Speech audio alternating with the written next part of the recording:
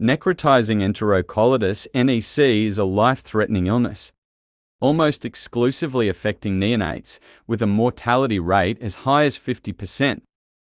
The pathophysiology of NEC is inflammation of the intestine, leading to bacterial invasion causing cellular damage and cellular death and necrosis of the colon and intestine.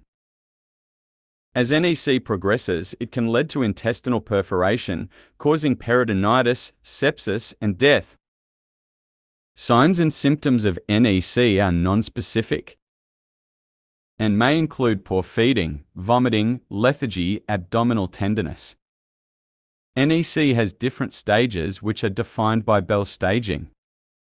Here we will tell you approach for NEC by modified Bell staging criteria and treatment in table form. Where we have intestinal signs, systemic signs, radiographic signs, and treatment approach.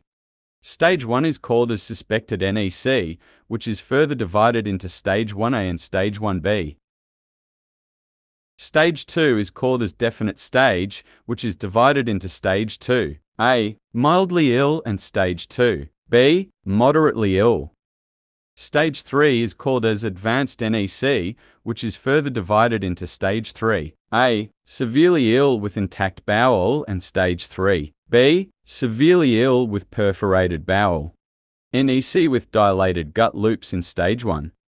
Pneumatosis intestinalis, portal venous gas, NEC with ascites,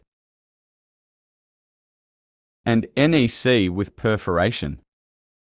And finally, we have clinical and gross intestinal pathological features of NEC as given in Figure A and Figure B. That's all for today. Thanks for watching.